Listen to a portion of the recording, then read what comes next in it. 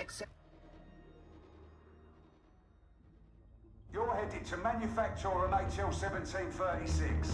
The primary smelter's been disabled and I want it functional. I want that smelter operating, and I don't care what you have to kill to make that happen. We badly need HL 1736's Leman Russ battle tanks on the front lines, so take no chances.